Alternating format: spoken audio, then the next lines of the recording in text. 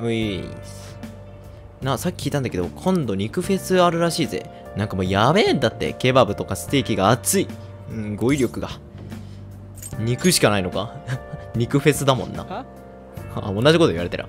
あ肉のことしか考えらんねえ。やべ腹減ってきた。肉大好きじゃん。野菜も食べて面白いわ正義。何言ってんだ？金城の情報をかけて試験勉強してね。うわ金城のせいじゃん。そんなにもうま常にラジオ置いてる。スパイダーマンかよお前。傍受してんのもしかして。ま、うん、まちまち？え？まちまち？え？徳町？え？わからん。あ特待だ。まちまちって言ってた。特待生の話ね。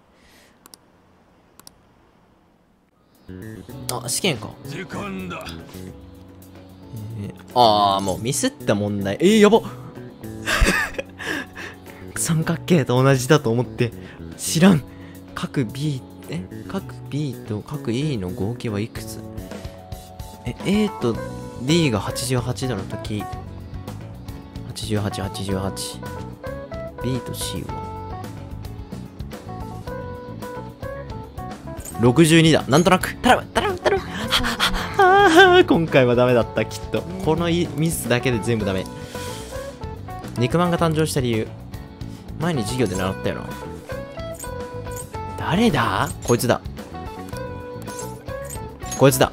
よし、えー、皮がもうなんか漢字多すぎ、えー、生首だ、えー、肉まんを。名前 付属品？代用品ね。オッケーオッケー。うわ今回ダメだったか。基礎の知能上げても。ダメな部分はダメなんだよなきっと。そんなことないかな。鬼やば